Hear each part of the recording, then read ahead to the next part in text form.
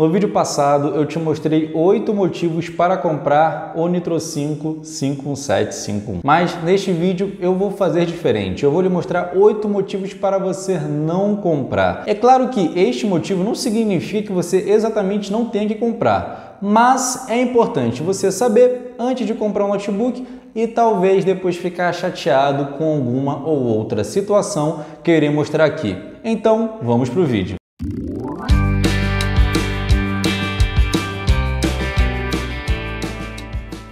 E se você quer saber outros conteúdos sobre o Nitro 5, eu vou deixar o link na descrição sobre unboxing, sobre também teste de temperatura, teste de jogos e muito mais. Confere então depois quando acabar esse vídeo. Se inscreve no canal se é a primeira vez aqui ou se já está acompanhando o canal e ainda não se inscreveu e curta este vídeo se gostar, tá bem pessoal? Então vamos começar no primeiro motivo para você não comprar este notebook. Eu diria que esse é um dos, se não mais importante, motivo para você não comprar este notebook, que é ele esquentar muito. Pois é, não é só um detalhe específico do notebook gamer da Acer, isso acontece também na Dell, vai acontecer na Vel, mas Independente disso, a gente não gosta que isso aconteça e esse é o motivo para você também não comprar este notebook. Ele esquenta bastante, já fiz um vídeo só mostrando este, em testes como ele esquenta.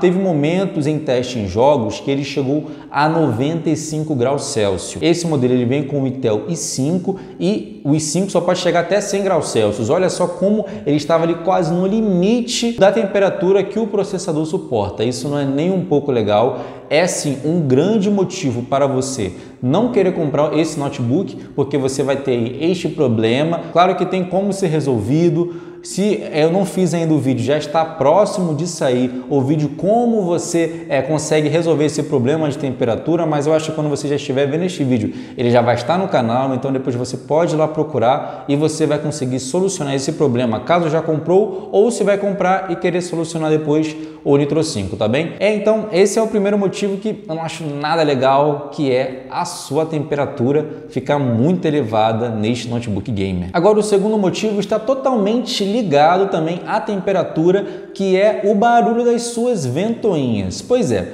esse notebook ele vem com duas ventoinhas, elas são fortes até por sinal, mas por conta de ela ser forte, de ela fazer uma rotação bem alta ali dentro, chegando às vezes a 6.000 RPM, uma rotação bem alta, o que é bom para ajudar no resfriamento né, do notebook, mas em contrapartida faz que ele faça muito barulho. O notebook quando está em altas temperaturas ele faz barulho demais, ele parece que vai decolar, vai voar, de tanto barulho que esse notebook faz. Olha só, estou aqui no NitroSense, olha o RPM baixo, você né, deve estar praticamente ouvindo nenhum som, mas eu não vou aqui aumentar a temperatura, eu só vou colocar a ventoinha no máximo para você perceber como ela fica alta. Olha só. Se liga nisso. Ó, tá ouvindo? Ó, vou, deixar, vou colocar o microfone perto para você perceber. Olha só, com o microfone aqui, ó. Olha esse barulho. Tá ouvindo? vou levantar o notebook, colocar embaixo, ó. Parece que vai decolar o notebook. Fica muito alto. Então, esse é um outro motivo bem chato, um pouco incômodo. Claro que não é uma incomodação é exagerada, mas incomoda quando você está ali usando, principalmente está jogando, sem fone de ouvido, sem nada, o barulho da ventoinha. Ele incomoda um pouquinho sim, então eu acho um outro motivo para você não comprar ele. O terceiro motivo é para mim um dos mais negativos possíveis de realmente você não querer comprar este notebook que é a duração da sua bateria. Pois é, na Ace a propaganda é que você consegue 8 horas de autonomia, mas isso não acontece na real. Se você estiver jogando jogos elevados, fazendo renderização de vídeo, isso nunca vai acontecer. Eu numa jogatina, jogando aí é, um jogo em uma qualidade boa, com desempenho alto, eu consegui no máximo, no máximo, uma hora e meia. Uma hora e meia eu consegui nesse notebook. É claro que se eu estou utilizando ali para coisas mais básicas, eu já consegui umas 4 horas e meia até 5, mais 8. Acho que 8 para ele é tipo assim, no mínimo possível. Brilhe no mínimo que tiver e você não fazer nada no notebook, aí você talvez consiga essas 8 horas. Fora isso, isso não acontece. Então, já tenha uma noção de uma hora e meia se você estiver jogando, renderizando coisas, também não fica fugindo muito disso, editando imagens, editando vídeo. Então, é, essa situação é chata. É um terceiro motivo muito grave para mim, que é a duração da sua bateria não ser muito alta. Agora, o quarto motivo é outro que é esse, mostra grande propaganda em seu site, mas na real isso não acontece que é a qualidade do seu áudio. Não estou dizendo que o áudio é ruim, pessoal, o áudio realmente é bom, mas ele fala que tem graves bons, tem a tecnologia Max Áudio, mas quando você coloca realmente para ver o áudio, é um áudio bom, sim, mas pela propaganda que faz, ele não tá tão bom assim, não tá legal, principalmente quando se gera aquele barulho alto da ventoinha. Aí a ventoinha começa a ter altas velocidades, um barulho bem alto, o som começa do áudio do jogo, ficar do jogo, do vídeo, seja o que for que você estiver vendo aqui, ele começa a ficar ali abafado, você consegue ainda ouvir, mas não está naquela sensação, experiência boa que você tanto está querendo e que aí você vem prometendo e no final não é tudo isso não. É um som estéreo, sim, como ela realmente fala, max áudio, mas eu não sei se tem até um, algum mecanismo de programação Posso até depois botar nos comentários se eu encontrar mais alguma coisa do gênero, mas de fábrica aqui a qualidade de áudio não, não é das melhores em si, no sentido que eles fazem muita propaganda de áudio bom, mas não entrega tanto assim, principalmente outros barulhos como a ventoinha traz. Agora o quinto motivo ele já é algo mais estrutural. Não significa necessariamente que é um motivo para você não comprar um notebook, mas é algo incômodo que eu acho importante também trazer para você, que é a área em que ficou a porta de carregamento do notebook. Ela ficou no meio do notebook. Eu estou acostumado com o notebook Dell, eu tenho um Dell Spyron 14 já, já tem mais de 6 anos até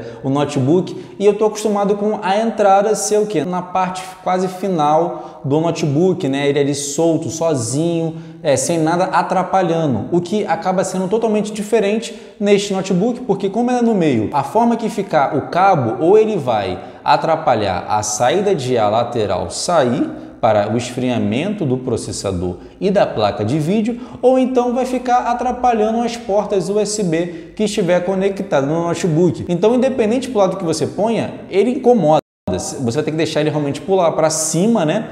Mas mesmo que fique para cima, ele não vai ficar de uma forma tão legal que possa ser que uma hora ou outra acabe caindo para o lado, porque para baixo, se você estiver numa mesa, você não vai conseguir deixar. Então é um detalhe, né, chato, que eles poderiam né, ter feito uma arquitetura melhor para esse notebook. Eu não estou aqui para passar a mão em cima da Acer, eu estou aqui para falar a verdade, estou aqui para ajudar você, sendo sempre sincero com você, para te ajudar na hora de comprar. E eu acho esse detalhezinho que a Acer poderia ter trazido melhor, né, pessoal? O notebook é caro. Tipo, é um bom custo-benefício, mas ele é caro e ele vai e traz uma, uma, arquitetura com uma porta no meio atrapalhando ou porta de USB ou, ou a saída de ar. Não ficou legal. Agora o sexto motivo também tem a ver com a sua estrutura, só que dessa vez é o que veio faltando nela, porque neste notebook nós não temos a entrada do tipo SD. Pois é, a entrada SD ficou faltando nesse notebook. Se você quiser fazer transmissão de arquivos em cartão SD, você vai precisar de um adaptador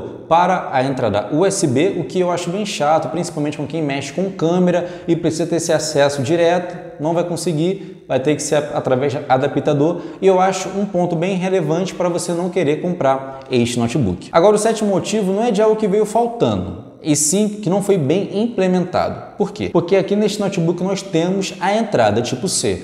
Só que essa entrada tipo C você não consegue transmitir vídeos de acordo com a Acer. Eu não posso falar por teste próprio, mas a fabricante assim o disse e eu passo aqui essa informação para você que esse notebook também não consegue transmitir vídeos pela entrada tipo C, o que para mim acaba sendo algo muito chato, porque poxa, você tem um notebook aqui que já tem a entrada, você acha que vai ter essa possibilidade e acaba não tendo. Então, vai aí um outro motivo para você não querer comprá-lo. Agora, o oitavo motivo, que para mim não é menos importante, é o fato deste notebook pegar muita marca de dedo. É claro que aqui tudo que está sendo dito é sobre a minha opinião, né, pessoal? Então, para mim isso é um detalhe bem chato, você a todo momento praticamente que você encosta no notebook, ele deixa uma marca de dedo, você vai ter que depois passar um pano para você conseguir tirá-lo, algo bem chatinho, bem cômodo, né? Eles poderiam ter dado um trabalho melhor na sua estrutura para isso não acontecer. Então eu acho esse um motivo para te passar e com ele completar os oito motivos para não comprar um notebook. E aí, o que acharam da minha opinião? Concordam, discordam?